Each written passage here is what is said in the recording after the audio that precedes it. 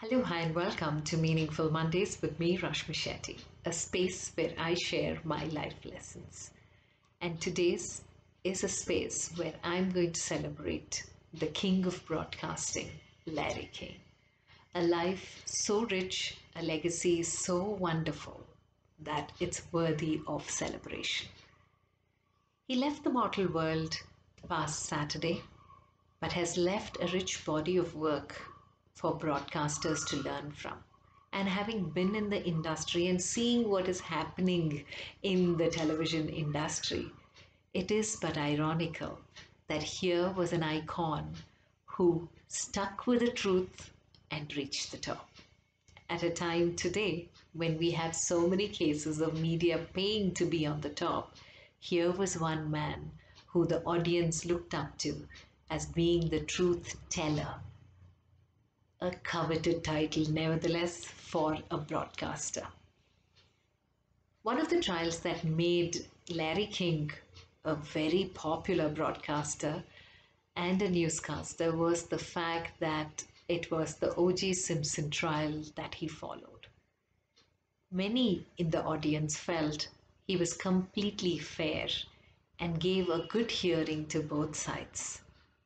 So much so that when O.J. Simpson was freed, the first person he spoke to was Larry King. And in that recording, he actually tells Larry King that I prefer to speak to you because I heard from my friends that you were very fair. All the presidents of the United States were interviewed by him, a rare honor because it shows he was not leaning to either side of the political parties every celebrity on this earth international because Larry King had a global audience and therefore international celebrities were also ones that he has interviewed. A very enviable list of celebrities who, with his questions, were always to point and his biggest asset was the way he asked his questions. They were very short, but always to point, and very, very close to what the audience wanted to hear. This made him truly the king of broadcasting because he knew what his listeners or his audience wanted to see and listen to. And his guests knew very well that when they come on the show, they better be prepared. His style was absolutely short questions.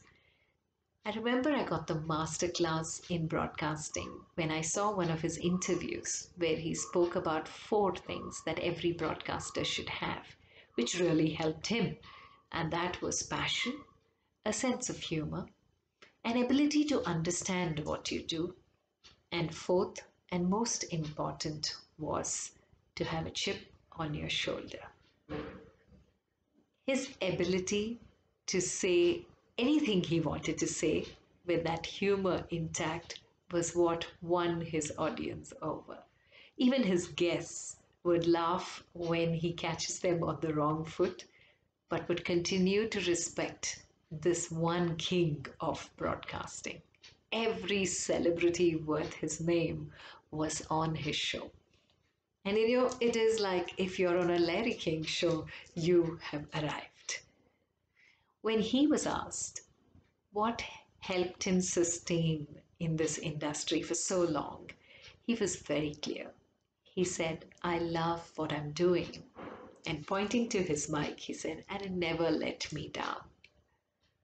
Honestly, when you're so good in homework, I think in any profession, your profession will not let you down. If you have passion and you give it everything that you have. A perfect lesson that all of us need to remember.